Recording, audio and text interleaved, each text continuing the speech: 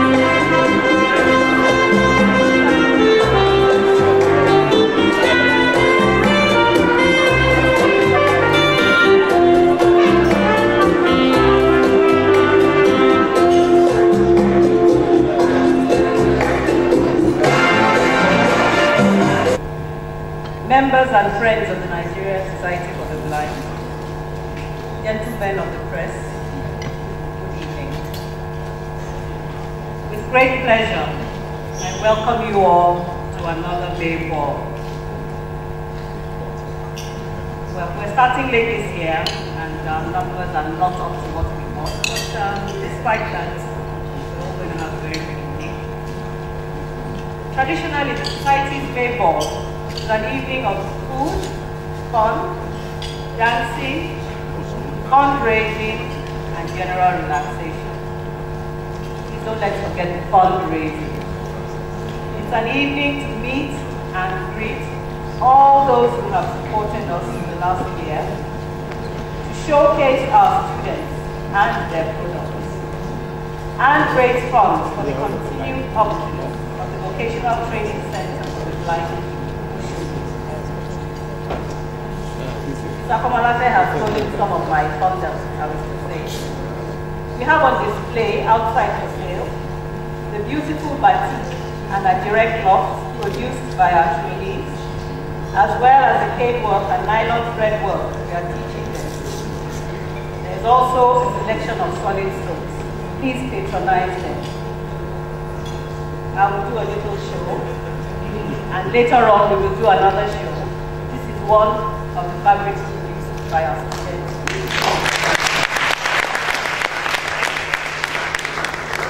The products are very good.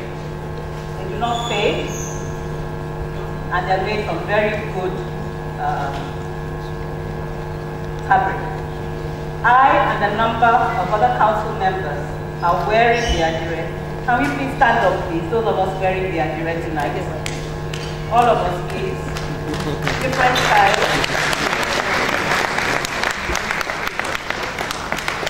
Can you use for lampshade and other household duties? Number two, you are encouraging the students to produce even better work with an end tonight, having sold all that you brought. I would also ask you at this time to think of us when you are thinking of giving out gifts at your weddings, at your birthdays, or when you want to do your outreach. You have done it before in the past, produced a mass number, just give us time. It's a source of income for us, but the ones they produce commercially, make sure each student gets little percentage of what they make.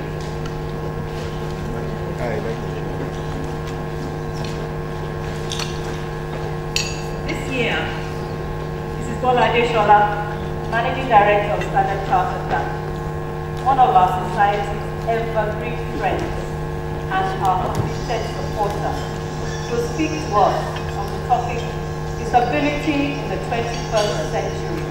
Are we doing enough? Having heard her speak on many occasions, I'm sure she will give us some thoughts.